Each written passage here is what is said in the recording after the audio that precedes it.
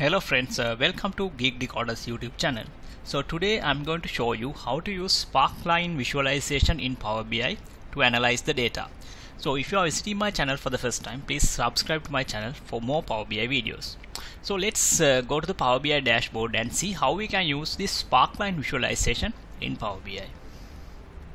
Right, uh, today this is the visualization uh, that we are going to develop, the Sparkline visualization.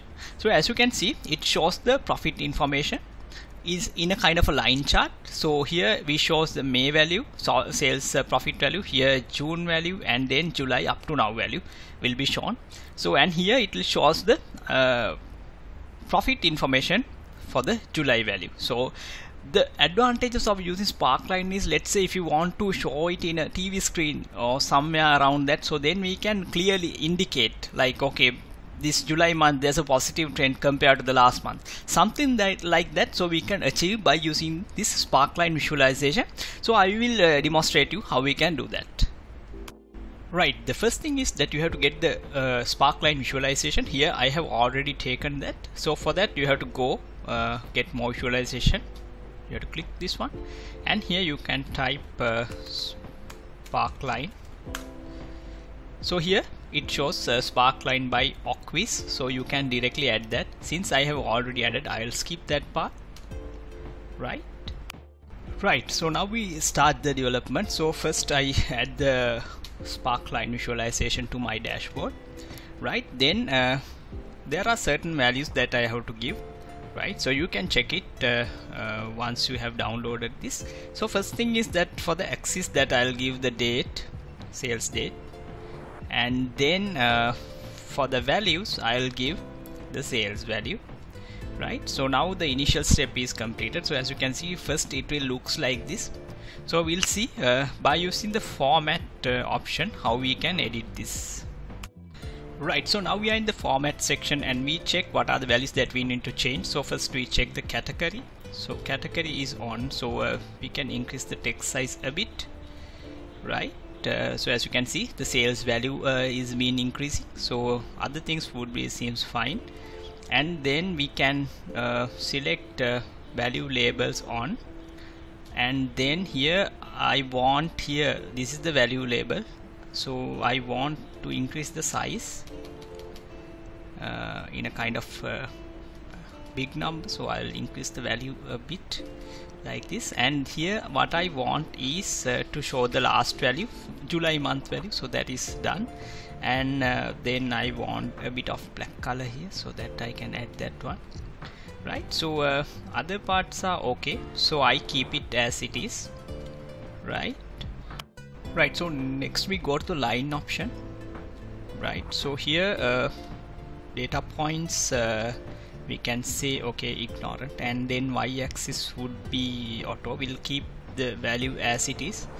Uh, baseline value is 0 then uh, you know weight that we can increase the line weight because I want a bit of thick line here to display it in the TV so we'll weight uh, increase the weight a bit.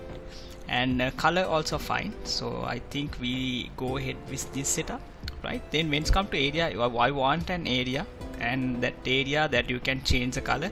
So I set it as light blue. So that's a color that I want right? So that uh, uh, is there. And uh, that value other values are all right right?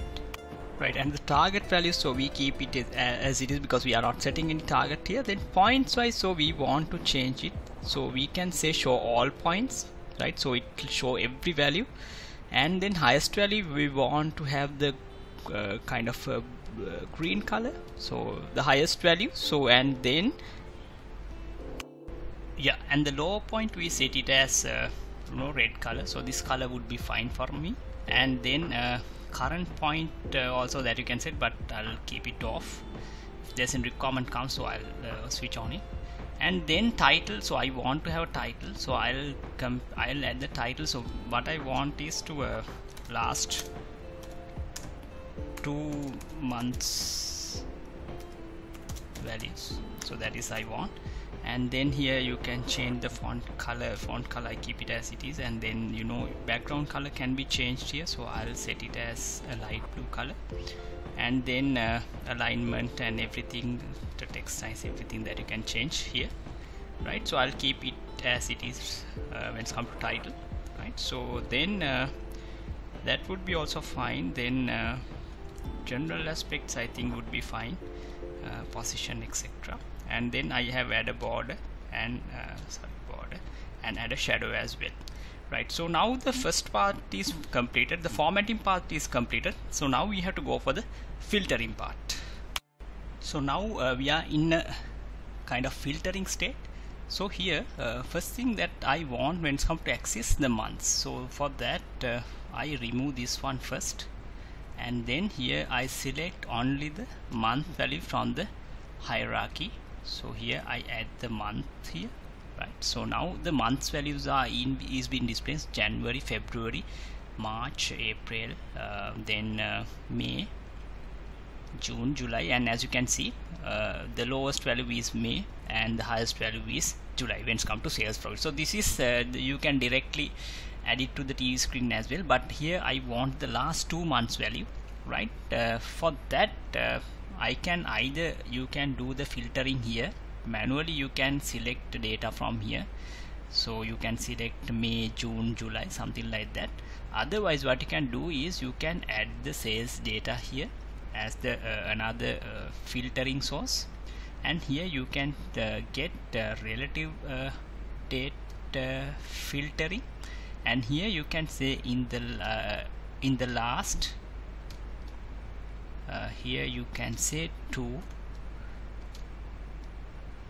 months. So include in today. So if you apply the filter as you can see now the date range would be March to uh, July. So here if you go so it will show the May value and then June July value. So if you you can set the relative uh, value relative months uh, relative months as well. So here if you see calendar month so then it will display only two months May and um, June. So as you can see you can uh, check the date range here.